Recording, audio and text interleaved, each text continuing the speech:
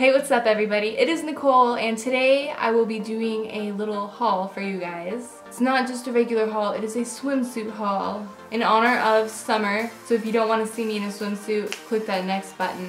Also, if you guys have a favorite swimsuit that I tried on, leave it down in the comments below. I'm curious to know which you thought looked the cutest.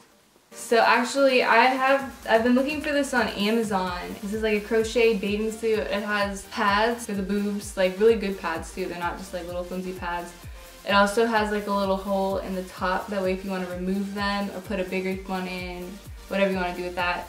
Maybe stash a bunch of money in there, you know go on an airplane, you need, you need a place to hide things. It's made pretty nice. It's not made bad at all. This is from Dressin, and this will be the only piece from Dressin I'll be showing today. And yeah, the butt covers just the right amount of butt, and there also is kind of like a little, um, what do you call that? Like a, like a little sewn in butt, so it makes your butt look bigger you know. Okay, so moving on to the next, all the stuff I will be showing you is from CN Direct.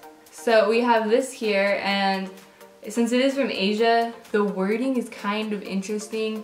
Don't want ease. Don't want ease? I don't want ease? Don't, don't, don't, don't want ease. Um, one thing I would like differently instead of like buttons, if you look here, there's buttons to do right here. I'd rather have like the bra latch. That would just be so much easier because I'm gonna have have to have somebody help me put this on because I can't do those buttons. If it does even fit, let's, let's find out. So this is what this looks like and it's a little bit too small for me. If you would take a look at the back, I have one button done.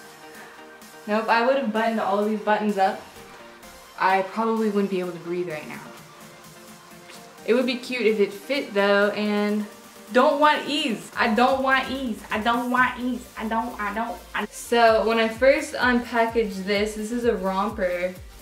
I, um, I looked at it and I was like, how in the world am I gonna fit my fat ass into this?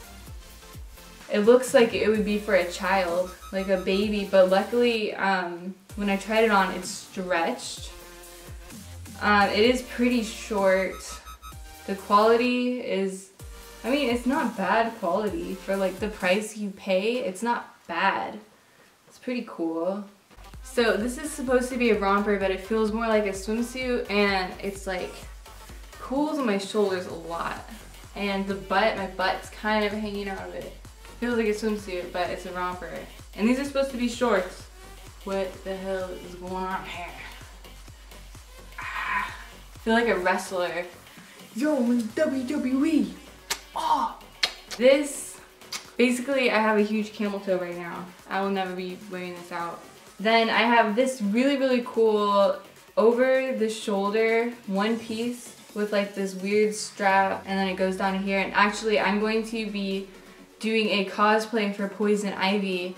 So I'm going to be in the future gluing on a bunch of cool Ivy to this bathing suit. So stay tuned for that. I also have a red wig coming in the mail but it's still there and I guess you don't really need much push-up because it is over the shoulder and it kind of makes your boobs look non-existent. If you have big boobs, I have no idea what this would look like on you. But it's good swimsuit material. The last thing that I will be showing you guys, this actually, I love this. I got one just like this from New Dress and um, it had the money sign on it. People were like, oh, Illuminati, and I was like, no.